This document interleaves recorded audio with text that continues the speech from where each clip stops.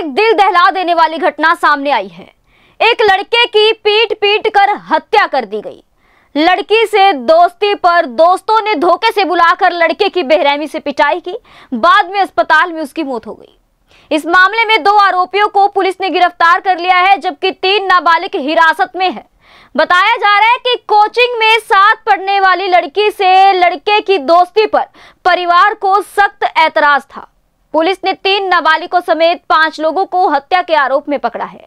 कहा जा रहा है कि मृतक राहुल आरोपी की बहन से प्यार करता था जिसका लड़की के घर वाले विरोध कर रहे थे। लड़का और लड़की अलग अलग समुदाय से है, इसीलिए पुलिस ने शांति की अपील की।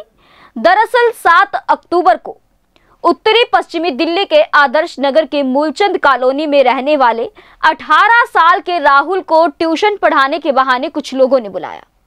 राहुल सीसीटीवी फुटेज में जाता हुआ दिख रहा है। और फिर थोड़ी ही दूरी पर उसकी इतनी पिटाई की गई कि उसकी मौत हो गई। पुलिस को मौत की सूचना बाबू जगजीवन राम अस्पताल से मिली। पोस्टमार्टम में पता चला कि आंत फटने से उसकी मौत हुई है। पता चला है कि राहुल की हत्या प्रेम प्रसंग के चलते हुई। उत्तरी पश्चिमी दिल्ली के डीसीपी विजयंता आर्य ने कहा कि जाँच के दौरान पता चला कि मृतक राहुल की जहांगीरपुरी में रहने वाली एक लड़की से दोस्ती थी। इसके चलते लड़की के भाई और उसके रिश्तेदारों ने उसको पीटा है, जिससे उसकी मौत हो गई। आपको बता दें कि राहुल घर में रहकर ट्यूशन पढ़ाता था और बीए सेकेंड ईयर का छात्र था। परिजनों का आरोप है कि आठ से 10 लोगों ने उस पर हमला कर दिया। राहुल को बचाने की कोशिश की गई, लेकिन हमलावर उस पर हमला करते रहे। वहीं पुलिस ने इस मामले में मुख्य आरोपी मनवार हुसैन और अब्दुल महर समेत पाँच लोगों को पकड़ लिया है। आरोपियों में तीन नाबालिग हैं। पुलिस ने राहुल के चाचा धर्मपाल के बयान पर हत्या का मामला दर्ज किया है।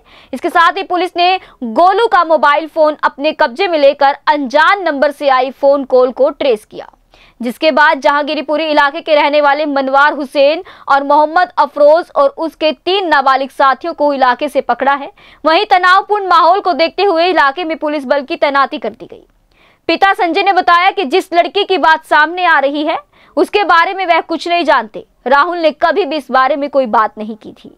उन्होंने कहा कि अगर ऐसा कुछ है तो पुलिस संबंधित लड़की से पूछताछ करे। वहीं पुलिस अधिकारियों का कहना है कि यह वारदात प्रेम संबंधों की वजह से हुई है। आरोपी लड़की की पहचान वाले हैं, जिनसे पूछताछ कर बाकी फरार साथियों के बारे में भी पता करने की कोशिश की जा रही है। ऐसे ही लेटेस्ट खबरें पाने के लिए बेल आइकन को क्लिक कर हमारे चैनल को लाइक, शेयर एंड सब्सक्राइब करें। धन्यवाद।